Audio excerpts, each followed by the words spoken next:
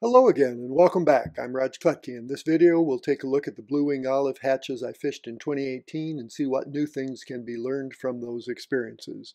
This will be a very quick look as I've fished quite a few blue-wing olive emergences in previous years and those experiences are covered in my Fly Fishing Hatches series part 4, part 5, and part 6. You probably should review those videos first as they provide a much better overview of blue-wing olives and tying instructions for the fly patterns that will be shown in this video.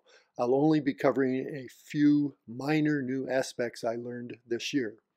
In 2018, I did most of my fly fishing in two different areas, the Midwest driftless area and a western trip in mid-September. We'll start with the Midwest, Midwest driftless area, which I fished mainly in May and June. This area has gently rolling farmlands with limestone creeks and streams. While fairly popular, it's usually easy to find relatively secluded areas, especially during the week. Probably the most important feature is that the fish are not hammered daily by fishermen using the same currently popular fly patterns. Since it's limestone country, the rivers and streams are rich in insect life. I saw many midges, caddis cases, and an occasional immature clinger nymph on the rocks I turned over from fast water areas.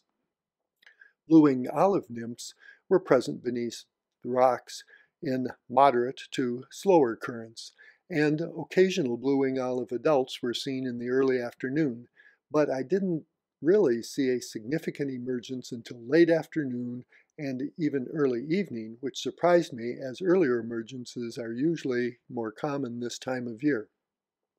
In past years, we've never really seen a super hatch here, but we commonly have seen relatively sparse to moderate emergences on many of the days we've been fishing. I especially like the moderate hatches best anyway, as there are enough organisms to get the fish very active, but not so many that your fly gets, gets lost in the many naturals often seen in a super hatch. When we fished this area this past year, the blue-winged olives had typical small swimmer nymphs and the adults had two tails with tiny hind wings, all typical of the genus Baetis. They were about a hook size 18.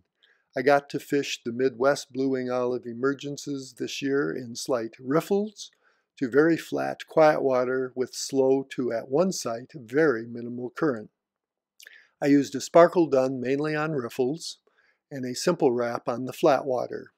Occasionally I used a pheasant tail nymph as a dropper, especially when an emergence was just starting, but generally the dun patterns worked well by themselves, especially when you could see the duns riding the surface. In other words, our usual blue-wing olive patterns that were described and tied in the fly fishing series, fly fishing hatches series, worked well for almost all of the emergences we fished. My most unique experience this year was around 7 p.m. on very quiet water. This is rather late for a blue-wing olive emergence in the early season, so I wasn't really thinking about blue-wing olive emergence. Maybe a spinner fall, but even that was problematic, as I believe, although I'm not sure, that this species of Baetis crawl or dive to the bottom of the stream to lay their eggs. However, I saw many rising fish clearly taking something from the surface or immediate subsurface. The larger fish were sipping, but there were aggressive rises with small fish even coming out of the water. With sipping rise forms on quiet water, I usually think of classical spinner falls or midges, but I didn't see any spinners or midges either, but especially midges can be hard to see. With the more aggressive rise forms, I wondered about a caddis emergence or caddis egg laying because of the time of day, and often you don't see the adults with caddis. But most caddis emergences and egg laying are on faster water. However, I did try blind trials of these organisms without success. Still not seeing anything on the surface, I finally strained the surface with a little net I've made specifically for this purpose and found numerous very translucent empty Baetis shucks, which are the outer nymph cases that remain after the dun emerges. I had not recognized them on the surface before catching them in my net, probably due to the translucency. I saw no duns, but there must have been an emergence upstream of where I was fishing. My size 20 loopwing emerger was the closest fly I had, so I tied it on, fished it in the surface, and immediately started taking fish. I had to know if the trout were really taking empty Baetis shucks, so I did pump a trout, something I usually don't. Yes, the trout was full of empty Baetis shucks from on and in the surface. I've not seen or read about this before. Besides learning that trout will take empty shucks, I learned that straining the surface may really help even when you can't see anything on the surface. So, what lessons did I take away from my Midwestern fishing? Remember, of course, that fishing experiences are anecdotal. I learned, or actually I already knew, that emergences happen any time of day, not always at the classical times.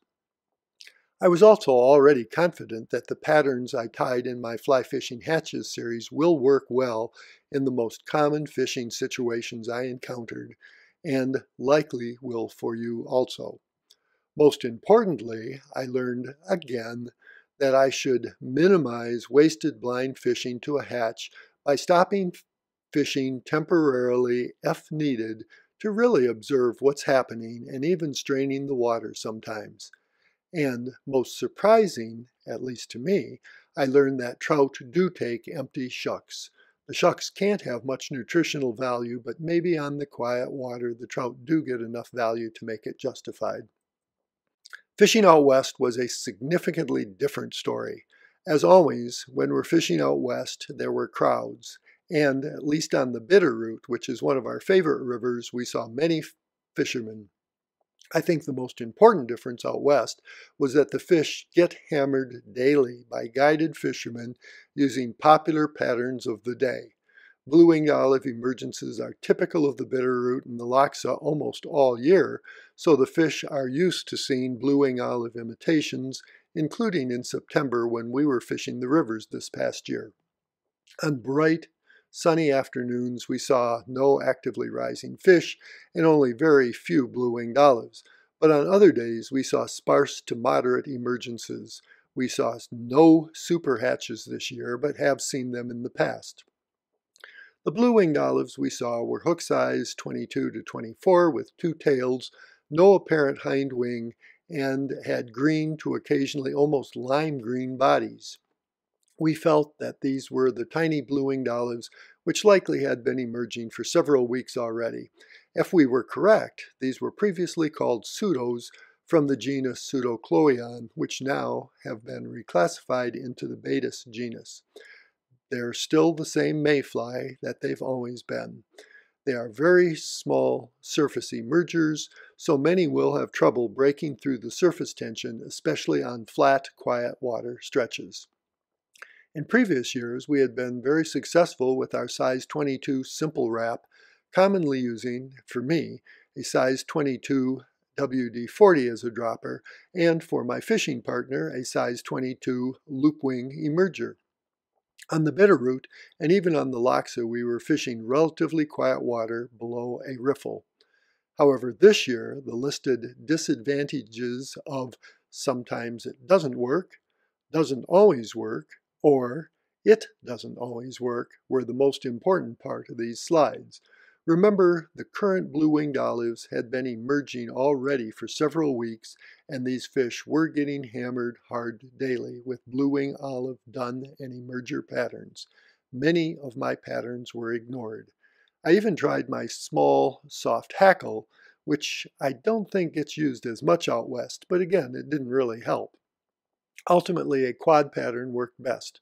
The smallest I had tied was a hook size 20 because the simple wrap has always worked well for smaller sizes in the past, even out west, but I had to cut my quad way down before it started to be successful. Even though more difficult to tie, I will be tying the quad for blue wing olives down to size 24 for the future. So, what did I take away about blue wing olives from this past year's trip out west? My patterns, even the ones that had worked great in previous years and on less heavily fished waters, didn't work as well this past year.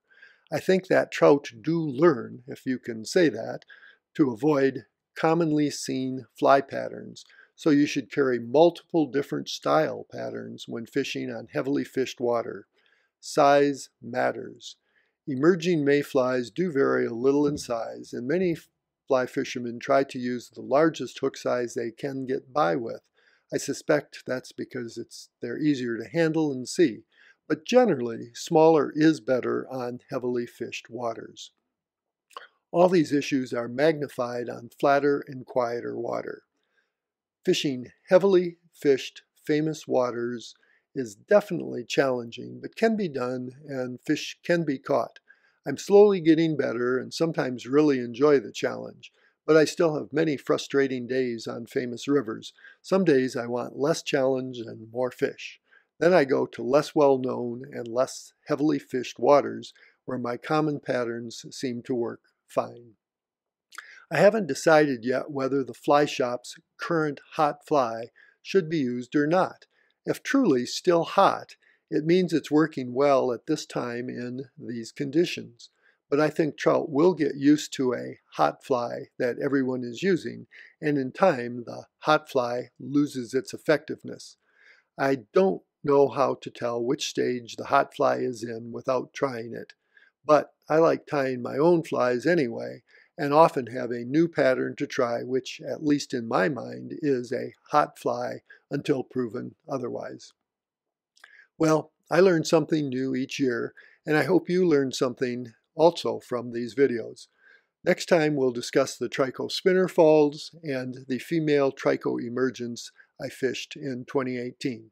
I'm Rog Klettke, and I'll see you soon.